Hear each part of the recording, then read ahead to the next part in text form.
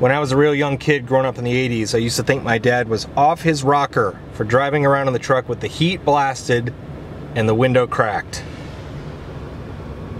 But here we are. Heat blasted, window cracked. The transition is complete. Another day, another dollar. Maybe a few dollars.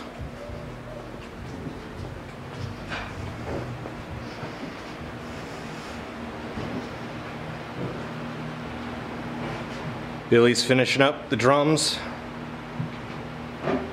stringing them up, drag rope, and our lugs came in so we can finish up the Radio King.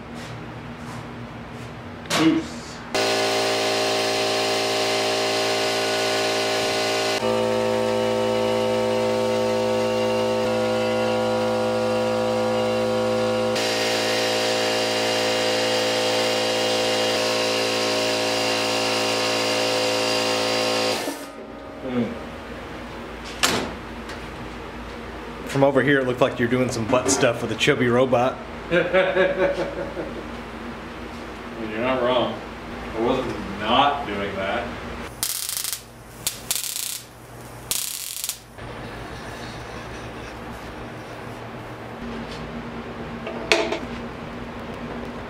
Okay, set a timer. Let's go. So the lugs for this Radio King came in from Drum Factory Direct. We did go with reproductions. Was able to find a couple originals on eBay, but they were in bad shape and the guy wanted 50 bucks for three of them. Fun fact, you can buy this throw off on eBay for $250. Seriously? Yeah. And someone was selling a full snare, this same dimension, 800 bucks. Whoa. So the castings are really clean. They do use a different internal mechanism. Longer swivel nuts with these little neoprene captive thingamabobbers. No spring, and the swivel nuts stick above the profile of the lug. So we turned these oddballs into donors, pulled out their swivel nuts and their springs. I had to clean them up on the wire wheel, and that's what we'll use. The repros also came with these gaskets, but none of the other lugs have them, so we're not using them.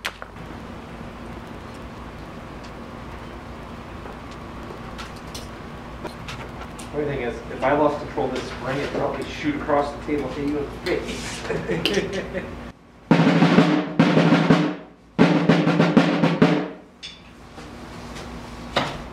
Sounds like a drum. Those are some sexy drums. You know that's right.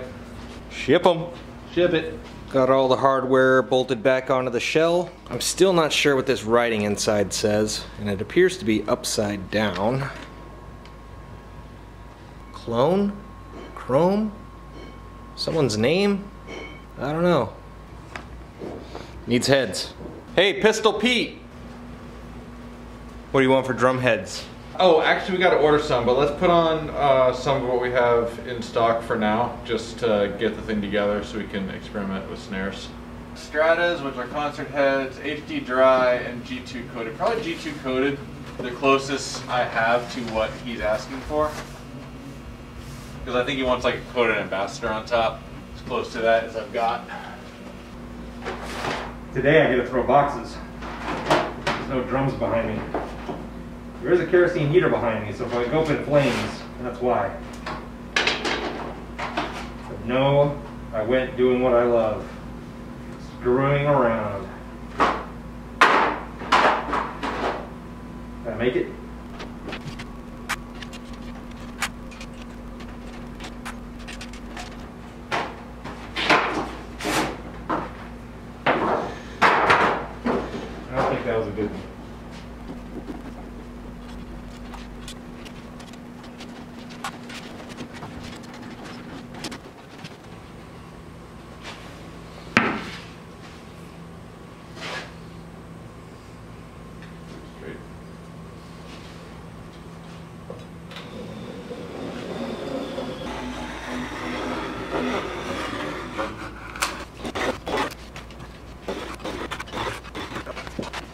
What's the story with that drum?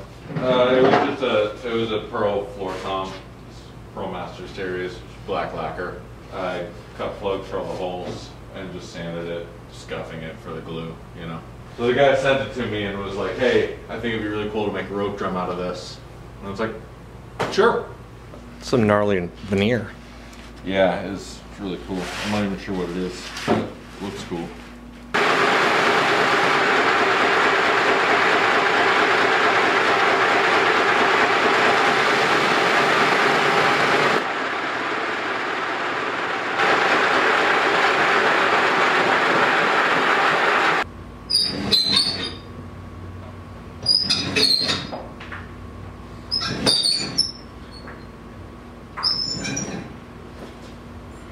Veneer storage.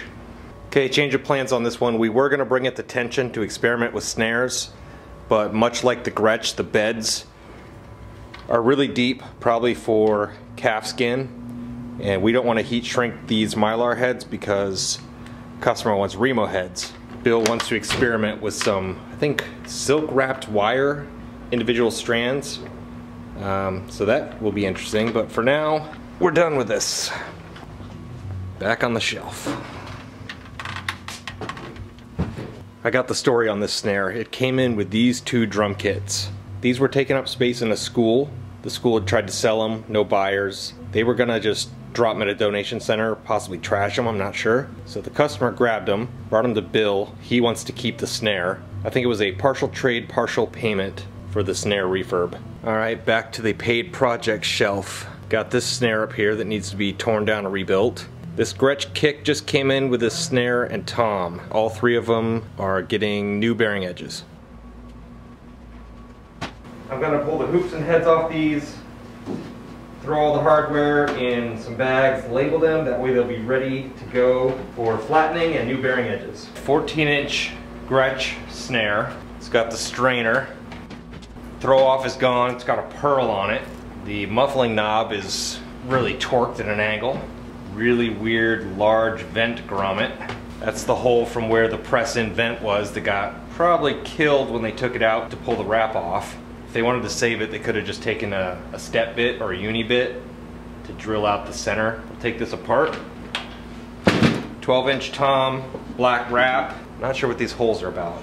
Okay, I got the snare stripped. Those are the plugs, looks like poplar dowling. And the tom, which I didn't notice immediately. Five lugs. And I don't have a lot of experience with Gretsch.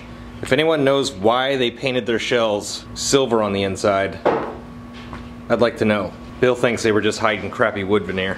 I don't think that's how you build a drum, buddy. I mean, it's not not how you build a drum. Besides, I'm a drum builder. How you build a drum is however the hell I say you do it. Isn't that how that works? I guess. I'm pretty sure that's how that works. Alright, here we go. Nope. Where are my earmuffs at? Here we go.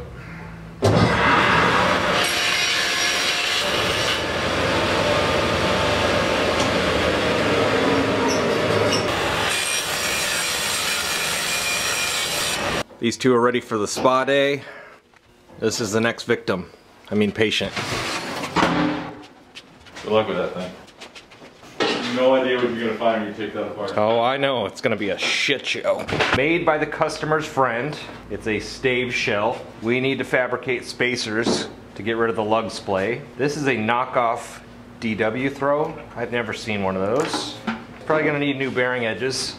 And we gotta see if we can fix the wrap, which um, is paper, so it's kind of like a decoupage, I guess you could say. I'm not sure what we're doing there.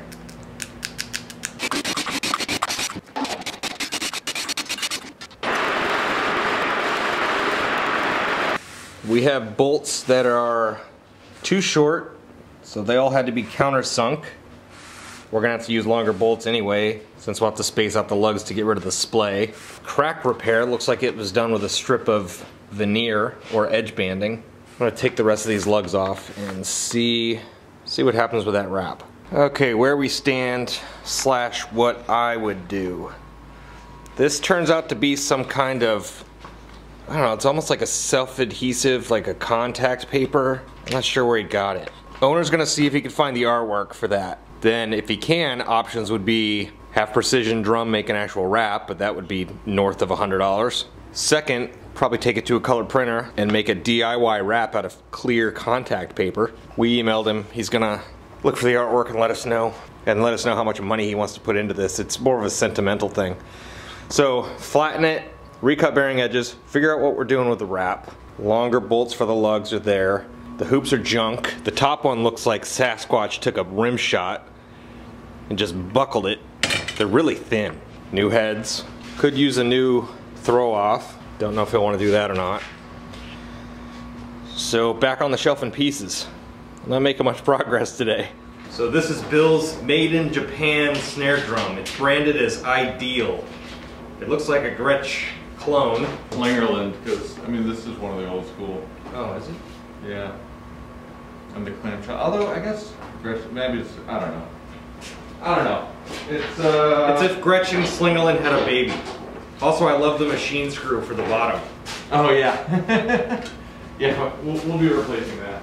Next project on the docket is this small Deagan xylophone, three octave. Need to make a case for it, suspend the bars instead of setting on the felt covered rail. Basically using Bill's xylophone as the model, because of course Bill has the xylophone. And Bill's truing up the edge of this veneer. We're burning the midnight oil here, literally. That's We're coming up on midnight.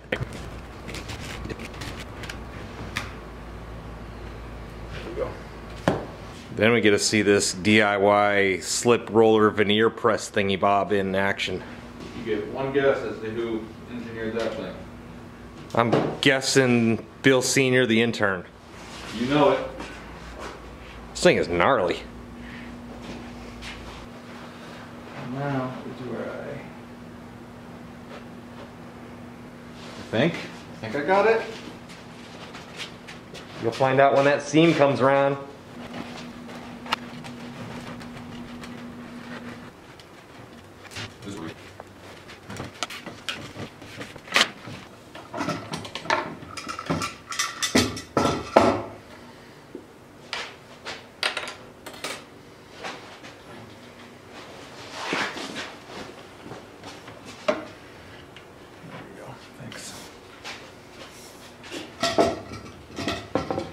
This is how Bill Senior spring loaded it.